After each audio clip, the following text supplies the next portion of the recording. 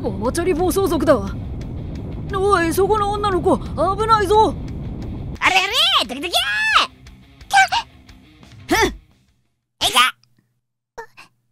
大丈夫か？おい。お前。歩道で自転車があんな速度で走るとはどういう了見だ？えどんな速度で走ろうが俺の勝手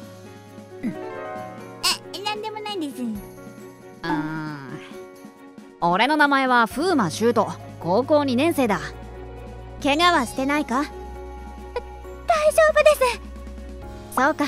ならばいい。ドキュン。であそこで人助けをしている彼女は俺のクラスメイトだ。名前をライコウみずちさんという。見ての通りとても美人さんだ。その上めちゃくちゃ強い。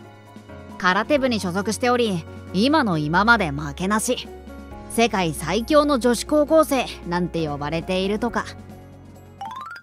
それなのに威張ったりすることもなく人助けをしたりしているので。ライコさん。これ。クッキーだろうか。あはい。うむありがとう。めちゃくちゃ男女問わず人気が高い。とはいえ高嶺の花すぎるあまり告白まで踏み切るやつは稀だ。あまあそれはともかくだ。やあライコさん。おはよう。あ悪い。誰にでも優しいライコさんだがなぜか俺にだけ冷たい。実は1年の頃も同じクラスだったのだが1年の頃からずっとこの調子なのだ。正直心当たりが全くなかったので戸惑ったがまあもしかしたら俺の顔とか声とか匂いとかどれかわからないが何かが生理的に受け付けないのかもしれない。そう思って1年の頃はあまり関わらなかった。だが2年に上がると彼女の人気は入学当初とは比べ物にならないレベルになっていた。そのためライコーさんって風磨くんにだけ冷たいよね。もしや何か嫌われるようなことをしたんじゃひそひそひそひそひそ。少しずつだが俺がライコーさんにどうやら嫌われているらしいという噂が広まるようになってしまったのだ。このままだと何もしていないのに俺の学校での評判が最悪なものになってしまう。というわけでライコーさんと仲良くなろう。と思ったわけである。ライコーさんライコーさんおはよう。ひそひそひそひそ。まあ今は見ての通りだが大丈夫。なんとかなるさ。多分おそらく絶対に。おははい。こんにち。そそくさ。また明日、うわ明日会いたくないってことですか。全全然ダメだ。俺どんだけ嫌われているのだろう。これだけ嫌われているとなるとやっぱり俺が何かしたのか？でも本当に心当たりがないんだよな。あパパパパパパパパパえ？パパパパパパパパパパパ女の子が溺れている。あ待ってろ。すぐ助け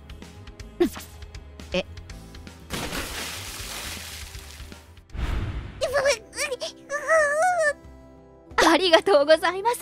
ありがとうございます。いえ気にしないでください。それより早く帰ってお風呂に入れてあげてください。ね。お姉ちゃんバイバイ。本当に本当にありがとうございます。やっぱり優しい人なんだな。あうんなおさらなんで俺にだけこんな冷たいのか全くわからないぞ。ええちょえなんで脱いで？ああ着替え。びしょ濡れだもんね。だからといってこんなところで着替えるかね普通。全裸になっているわけでもあるまいしお前には関係ないだろ。そりゃ俺には関係ないけれど恥ずかしいとか思わないのだろうか。シャツが透けて下着があれ？背中に傷がある。何をじっと見ている変態。あいやその背中の傷。どこかで見覚えがあると思ってその傷。まさか。そうだ。ようやく思い出したか？え？あの時は。よくもやってくれたな。フーマシュート。前透けてるって。前からはさすがに恥ずかしいらしい私はお前を許さない。え俺本当に何しちゃったんだ？背中の傷に覚えがあるのは事実。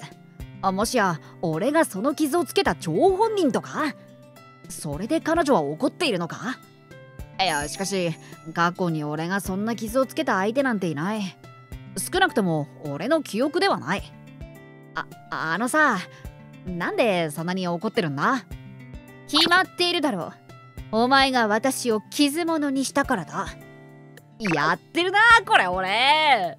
傷物ってあの背中の傷のことか？でも本当に全く身に覚えがないんだが？ただ一つ分かったのはどうやら彼女と仲良くなるのは難しいぽいってことだ。翌日。せい。うーん。なぜいる？ライコーさんと話がしたくて。私はお前と話すことなどないがな。昨日あれからじっくり考えてみたんだ。ふむ10分くらい。短い。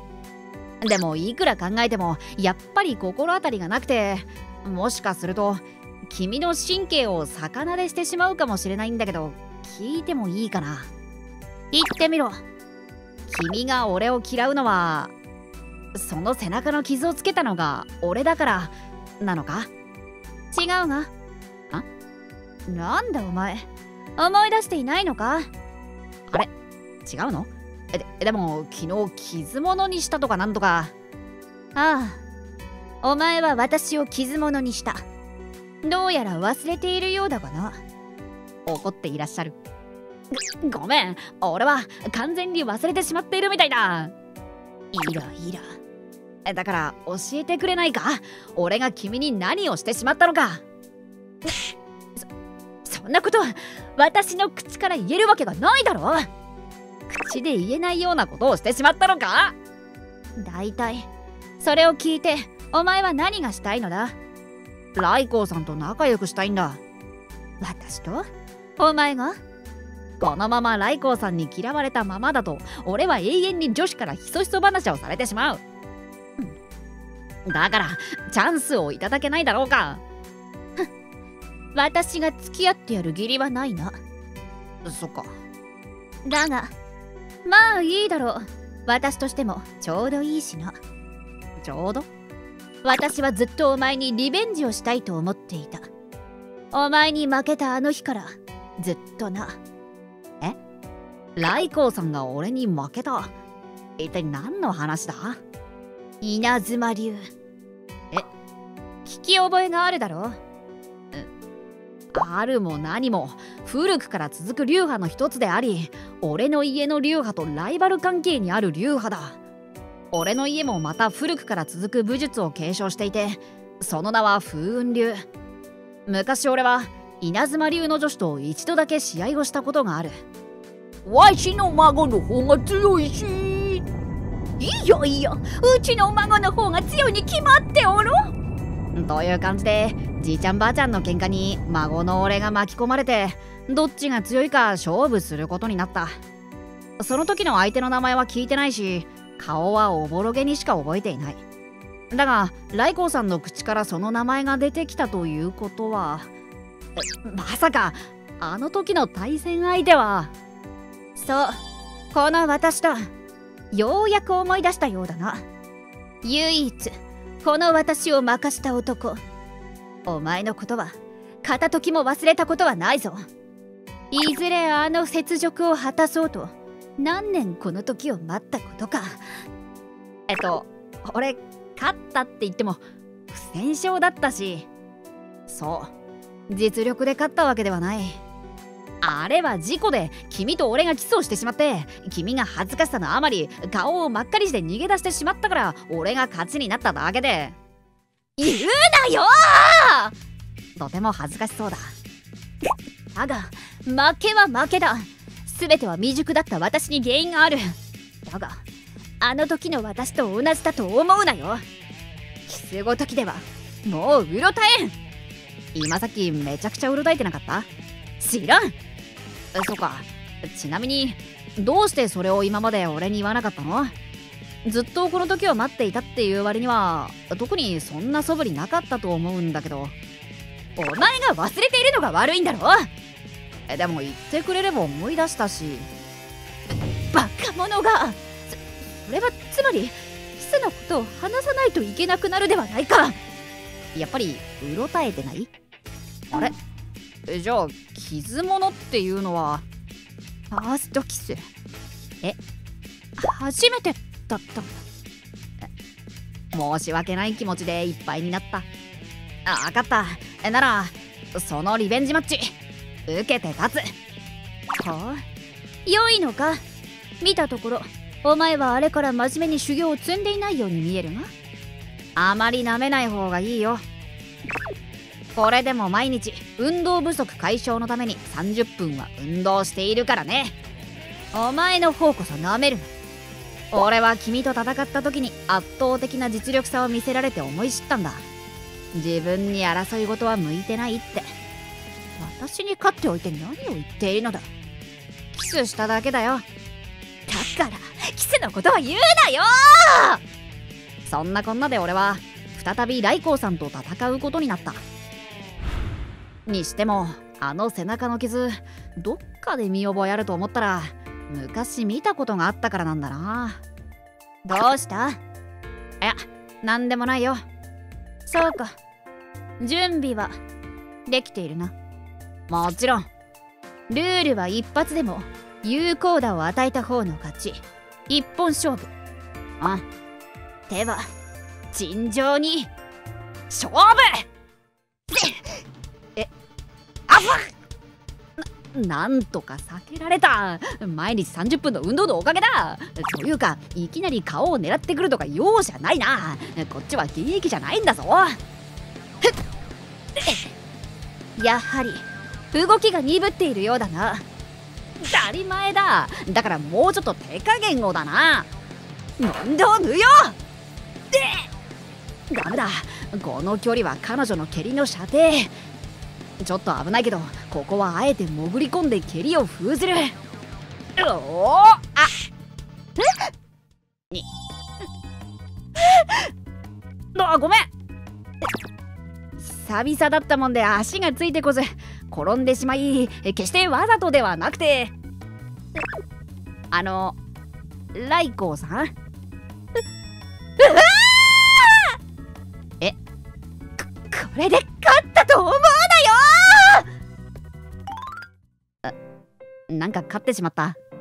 とても申し訳ない気持ちでいっぱいである。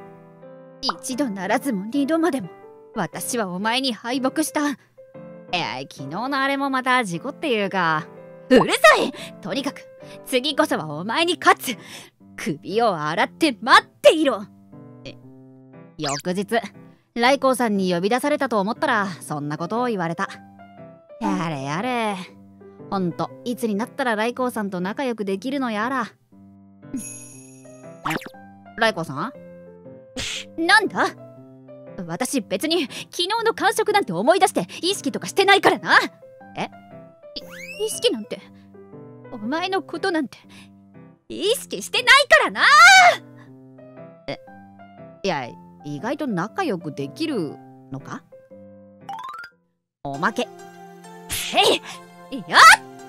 ふむふむ良い気概じゃの。うじゃがどこか迷いがあるようじゃ。学校で何かあったのかい？そのおばあ様はキキスをしたことがありますか？え孫が乙女になっとる。シュートや今日の鍛錬は終わったのか？ああじいちゃん。猫の散歩だろ？終わったよ。よろしい。おやつにしよう